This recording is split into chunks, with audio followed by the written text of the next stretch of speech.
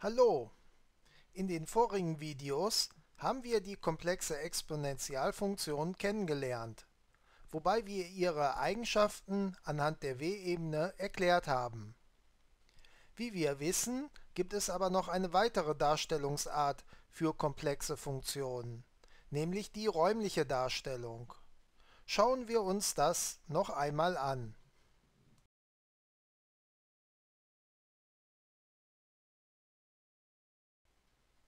Bei der räumlichen Darstellung einer komplexen Funktion wird der Realteil, der Imaginärteil, der Betrag und das Argument, also der Winkel, jeweils über der z-Ebene aufgetragen.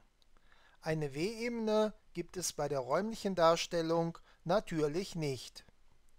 Bevor wir die räumliche Darstellung der komplexen Exponentialfunktion genauer erklären, müssen wir aber zwei Regeln wiederholen, die wir von der Ebenendarstellung der komplexen Exponentialfunktion kennen. Dazu habe ich eine kleine Animation vorbereitet, die ich euch jetzt auf dem Hauptbildschirm zeigen werde.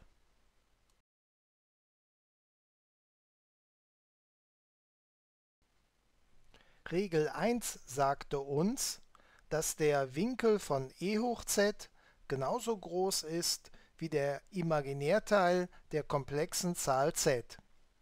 Dies erkennt man sehr schön an der Animation, die ich jetzt starte. Zunächst blende ich eine komplexe Zahl z ein. Und dann erhöhe ich den Imaginärteil, und zwar von minus Pi bis Pi. Dann wird sich der Winkel von e hoch z ebenfalls erhöhen und zwar ebenfalls von minus Pi auf Pi. Kommen wir jetzt zur Regel 2. Regel 2 sagte, wenn ich den Realteil einer komplexen Zahl z erhöhe, dann wird sich der Betrag von e hoch z ebenfalls erhöhen, und zwar exponentiell. Dies erkennt man sehr schön an der Animation, die ich jetzt starte. Gegeben ist wieder eine komplexe Zahl z. Jetzt erhöhe ich den Realteil dieser komplexen Zahl z und ihr seht, gleichzeitig erhöht sich der Betrag von e hoch z und zwar wächst er exponentiell. Gut, also diese zwei Regeln müsst ihr euch für den Rest des Videos merken. Regel Nummer 1, der Winkel von e hoch z ist genauso groß wie der Imaginärteil von z. Und Regel Nummer 2, wenn ich den Realteil von z linear erhöhe, dann wächst der Betrag von e hoch z exponentiell. Gut, dann schwenken wir jetzt zur räumlichen Darstellung der komplexen Exponentialfunktion, also zum eigentlichen Thema dieses Videos. Und wir beginnen zunächst einmal mit der Untersuchung des Realteils der komplexen Exponentialfunktion. Als erstes umfahre ich die Funktion, damit wir einen Eindruck vom Realteil bekommen.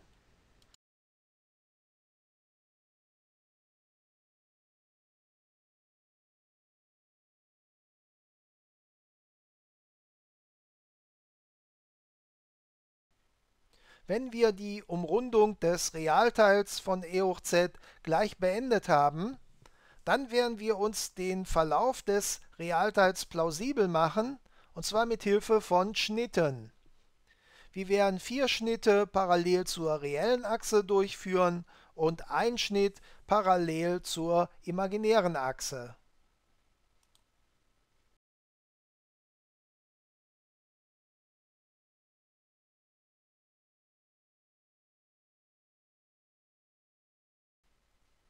Beginnen wir mit dem ersten der fünf Schnitte.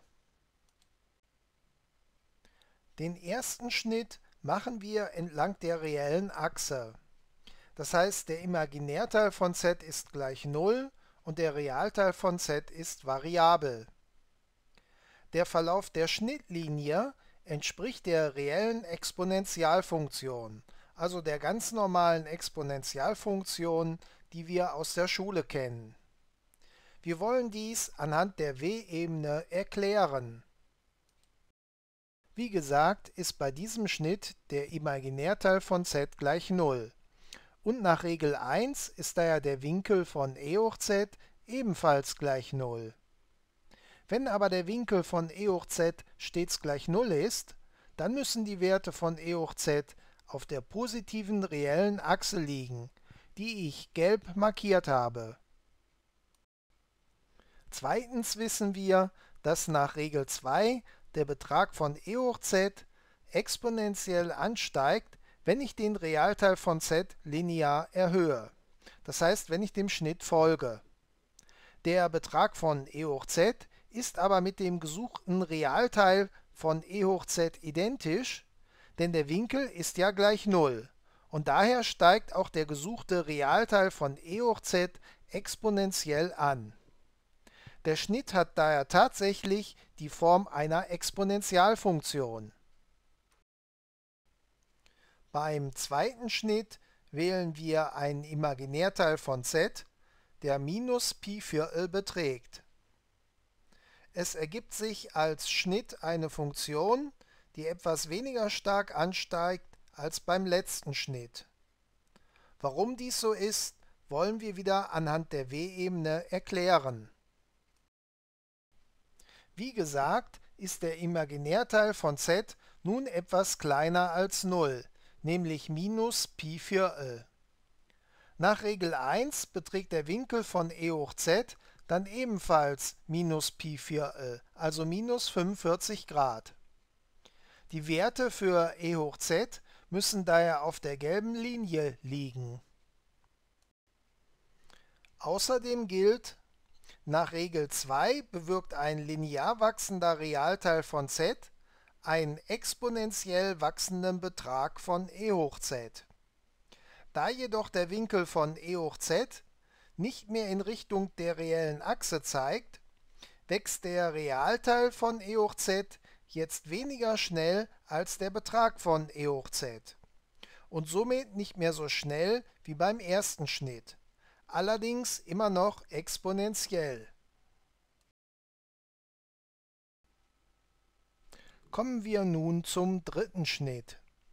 Beim dritten Schnitt ist der Imaginärteil von z gleich minus Pi halbe. Ich schwenke die Kamera, damit man den Schnitt besser sieht. Als Schnitt ergibt sich eine Gerade. Wir wollen das wieder anhand der W-Ebene erklären. Wie gesagt, ist der Imaginärteil von z nun minus Pi halbe. Nach Regel 1 beträgt der Winkel von e hoch z dann ebenfalls minus Pi halbe, also minus 90 Grad. Die Werte für e hoch z müssen daher auf der gelben Linie liegen. Nun wenden wir noch Regel 2 an.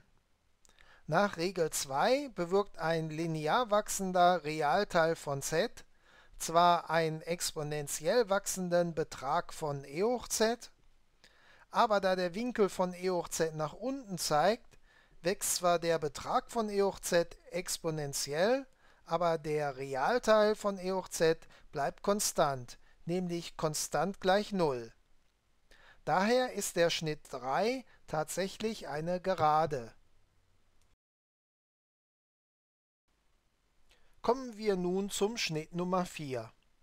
Beim Schnitt Nummer 4 ist der Imaginärteil von z gleich minus Pi. Ich schwenke die Kamera etwas, damit man den Schnitt besser sieht. Es ergibt sich als Schnitt eine Funktion, die exponentiell ins Negative anwächst. Dies wollen wir wieder anhand der W-Ebene erklären. Wie gesagt, ist der Imaginärteil von z jetzt gleich minus Pi. Nach Regel 1 beträgt der Winkel von e hoch z dann ebenfalls minus Pi, also minus 180 Grad. Deshalb liegen die Werte von e hoch z auf der gelben Geraden. Als nächstes wenden wir Regel 2 an. Regel 2 sagt, dass ein linear wachsender Realteil von z einen exponentiell wachsenden Betrag von e hoch z bewirkt. Weil aber der Winkel von e hoch z nun minus 180 Grad beträgt, also entgegen der reellen Achse zeigt, steigt zwar der Betrag von e hoch z exponentiell an, aber der Realteil von e hoch z steigt exponentiell ins Negative. Nun kommen wir zum Schnitt Nummer 5. Schnitt Nummer 5 ist anders als die vorigen vier Schnitte. Denn nun ist nicht mehr der Realteil von z variabel, sondern der Imaginärteil von z ist variabel. Genauer gesagt, wir lassen den Imaginärteil die Werte von 0 bis 2pi durchlaufen. Aber drehen wir zunächst einmal die Kamera, damit wir den Schnitt besser sehen.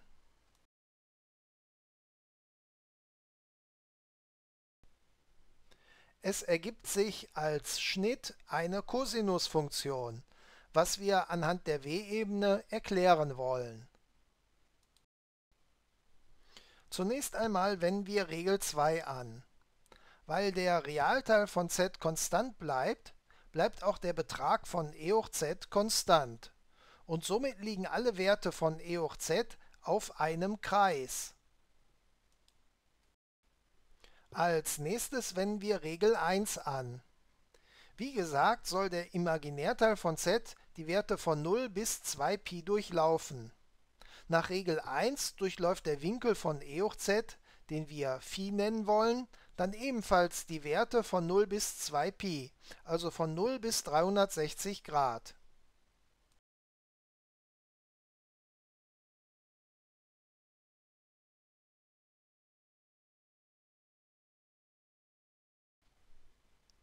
Drittens überlegen wir uns, was diese Umdrehung für den gesuchten Realteil von e hoch z bedeutet.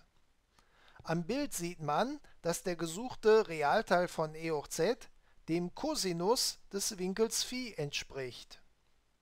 Wenn also der Winkel Phi die Werte von 0 bis 360 Grad durchläuft, durchläuft der Realteil von e hoch z eine Cosinusfunktion.